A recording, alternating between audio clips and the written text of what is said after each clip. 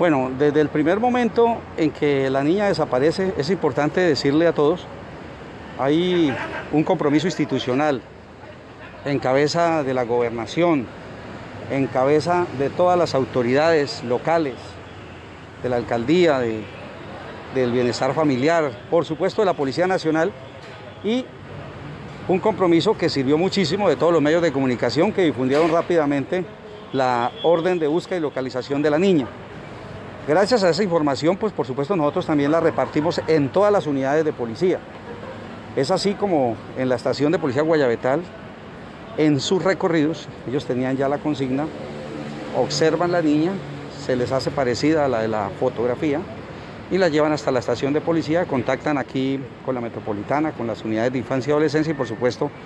con la gobernación, quien también les llegó la información y por supuesto nos fuimos hasta allá y ahorita ya traemos la niña aquí en Bienestar Familiar para el restablecimiento de sus derechos, ya se le entregó aquí a Bienestar Familiar.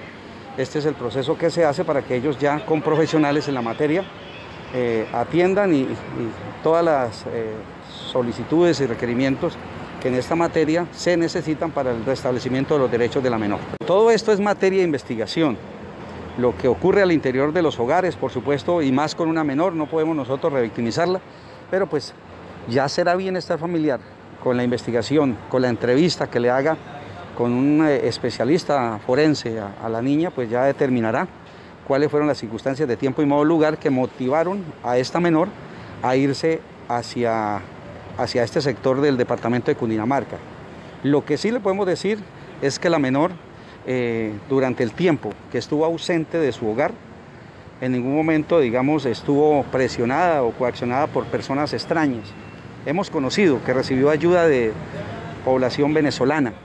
pero fue ayuda, fue gente que le colaboró y caminó con ella hacia la ciudad de Bogotá